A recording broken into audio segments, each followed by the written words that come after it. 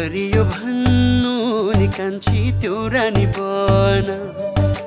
पहेलो भन्नु सुन खानी सुन मेरो निर्माया। सुरिलो भन्नु